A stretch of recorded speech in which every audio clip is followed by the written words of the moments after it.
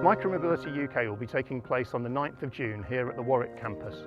If You've only got to look around today, there's so many traffic jams, the cost of getting from A to B, it's just not sustainable.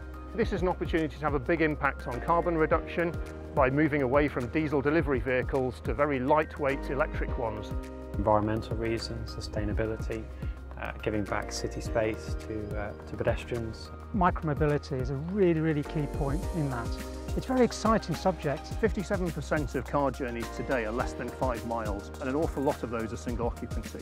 What we see is a great opportunity for very light vehicles, electrically propelled, to replace cars in some of those scenarios. What I like most is just seeing people more comfortable and being able to use the mode of choice that they want. I think a population is craving more sustainable transport. There's really no downside to it. Micromobility has to be the solution, it absolutely has to be a solution to achieve a more, not just sustainable economy, but a more efficient economy in the UK. The challenge that we have with micromobility is there's a new category.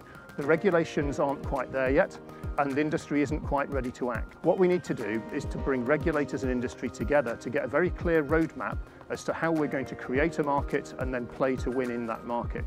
So at this year's event we are um, sharing the key findings from our recently released roadmap for micromobility. It's an opportunity to share those findings but also for our expert speaker panel to go into more detail um, on those key themes and really move the discussion forward in those areas. What you'll see are a series of speakers talking about the barriers, the regulations, the technology, the products that could come forward. So we have a, a range of exhibitors uh, for this year's event that will be showcasing their latest innovations and um, developments. At the conference we're delighted to be showcasing our newly established Clean Transport Accelerator. This has been a joint collaboration with WMG You'll also have the chance to interact with real vehicles and to run them on some of the routes around our campus. It's a one kilometre loop um, and it enables people to give them a go and try it out in real life. Really looking forward to having going on the course. Do you know, if nothing else, they're really enjoyable to ride.